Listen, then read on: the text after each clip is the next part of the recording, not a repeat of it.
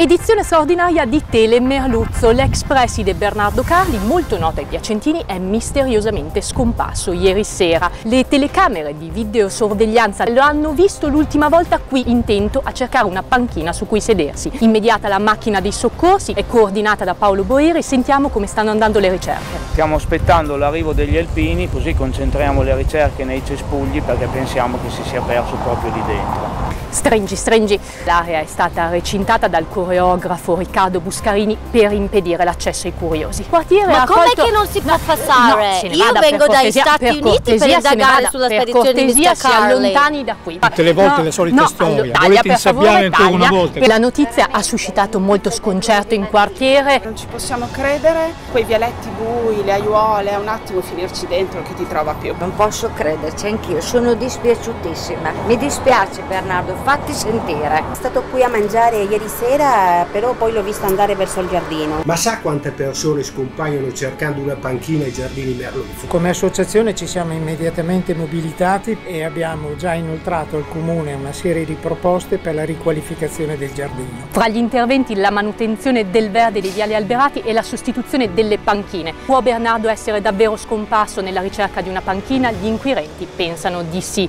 Le indagini intanto proseguono, voi votateci. Dai Giardini Merluzzo è tutto, linea allo studio.